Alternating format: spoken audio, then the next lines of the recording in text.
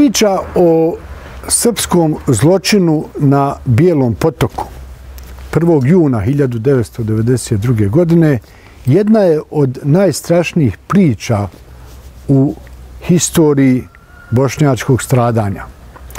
Ta priča je tim strašnija što veliki broj bošnjaka ne nosi zločin na Bijelom potoku kao dio svoje kolektivne memorije, onako kako se nosi genocid u Srebrenici, genocid u Prijedoru, Markale, Kapija i neka druga masovna stratišta.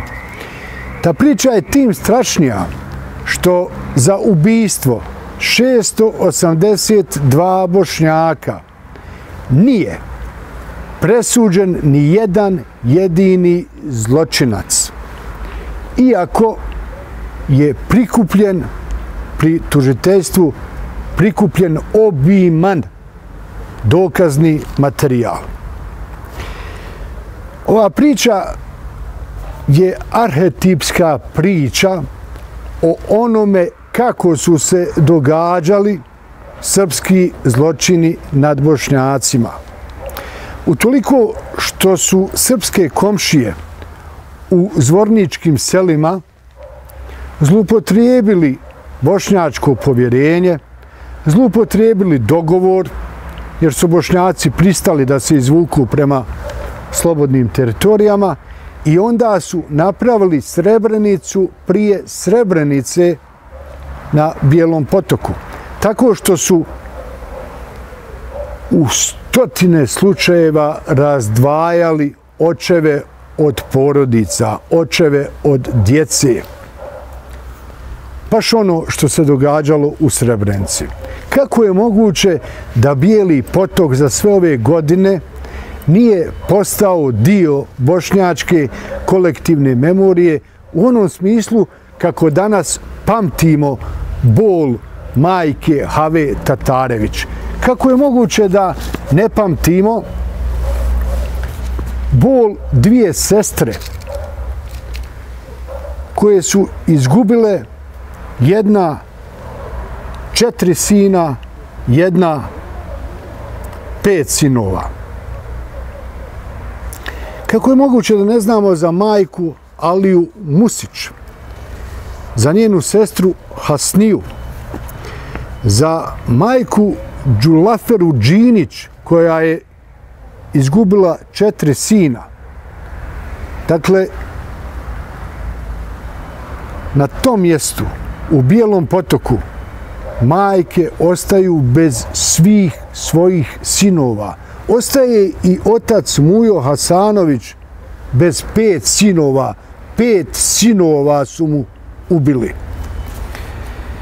Sve ovo što se događalo 1. juna 1992. godine u Bijelom potoku, kažem, još uvijek nije doživjelo svoju pravosudnu i pravdoljubivu završnicu, jer se zločinci, za koje se zna da su zločinci, slobodno kreću po podrinskim selima i gradovima i na to upozoravaju porodice, ali džabe, jer tužiteljstvo ovakvo kakvo jeste, štiti one koji su ubili 682 bošnjaka.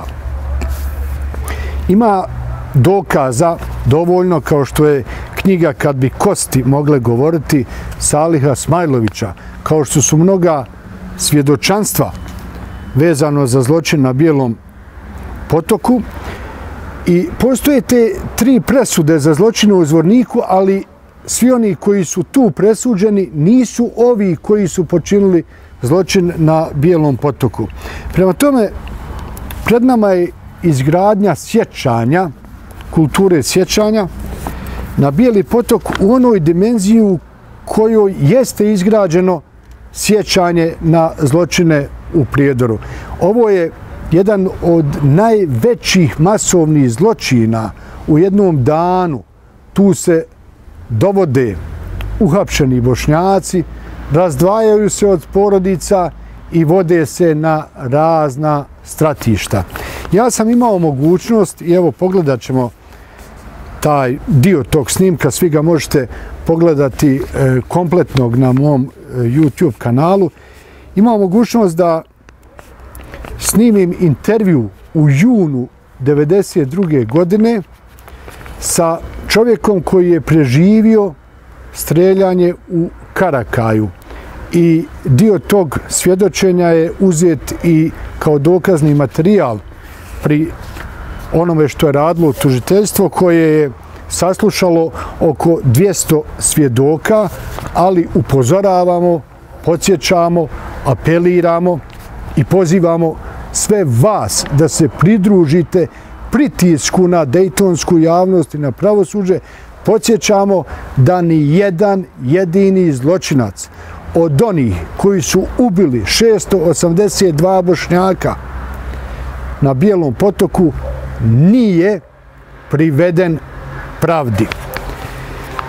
1. juna će biti obilježavanje ove godišnjice. Do tada, evo imamo i fotografije, gradi se spomenik posvećen zločinu na Bijelom potoku i do tada treba pojačati pritisak na dejtonsku javnost i na pravosuđe da se zločinci krivi za ubijstvo 682 bošnjaka privedu pravdi.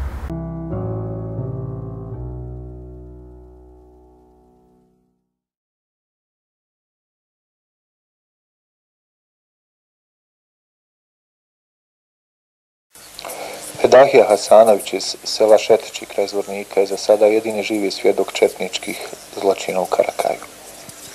I naredili su pet po pet da izlazimo. Izišli nas od prilike, ovaj, ne od prilike, nego tačno nas je izišlo 16 u tu prostoriju u koju mogu da stane toliko ljudi. Ostale su potrpali u druge prostorije, naredili nam da okrenemo glavu, zidu. Ja sam se uhvatio s rukom Samirićom, jednim ovako držao sam se za ruku, nas dvojica. Okrenuli smo glave zid, otvorio je Rafal. Kako sam ja pao? Da li sam ja htio da padnem ili sam osrao, ni danas dan mi nije jasno. Znam samo, kad su sve postreljali, sve što je bilo, javuci, ono krkljanje, ono, znate sami, krv ispod, ona, ta, ispod mene je tekla. Slušao sam njihovu priču, ona jedan rekao, kaže, ima, kaže, municiju kako hoćeš, uđi, kaže, jebeš, u ko mater, kaže, povi. A ovaj drugi rekao, kaže, ne, kaže, neka, nek se malo i patne. Izašli su, upali kamion i otišli, koliko sam ja tu još ostao, ne znam.